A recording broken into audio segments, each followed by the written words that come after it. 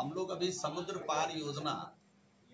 देश के बाहर, बिहार के जो मजदूर, श्रमिक या कोई हुनर युक्त व्यक्ति बाहर काम करने जाते हैं, उनके लिए हम लोग समुद्र पार योजना लाए हैं।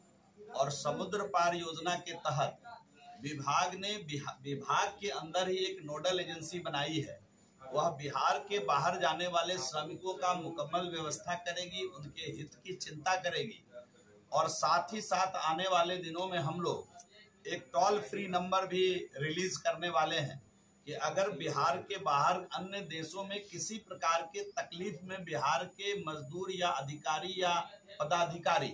किसी भी स्तर में काम करने वाले लोग जो विदेश में काम कर रहे होंगे, उनके साथ किसी प्रकार की परेशानी होगी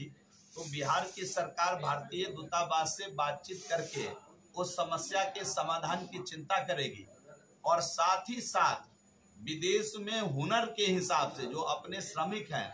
उनके पास जिस प्रकार का हुनर होगा, उस प्रकार के हुनर के हिसाब से जॉब ढूँढने में भी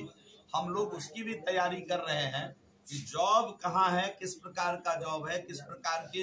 हुनर से संबंधित जॉब है, उसको भी सर्च आउट करके, उसको भी ढूंढ करके जॉब देने दिलाने का भी काम इस एजेंसी के माध्यम से, समुद्र पार योजना के माध्यम से आने वाले दिनों में करने वाले हैं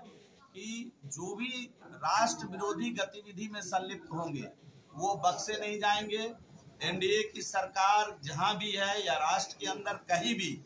किसी प्रकार की आतंकवादी गतिविधियों में संलिप्त सरकार, संलिप्त आतंकवादी गतिविधियों में संलिप्त एजेंसी, संलिप्त संस्था, वो सरकार किसी भी हालत में बकसने वाली नहीं है। उसकी चिंता बिल्कुल ना करे, सरकार सजग है। सरकार उसका ठोस इलाज करने वाली है। ऐसे संगठन जो सर है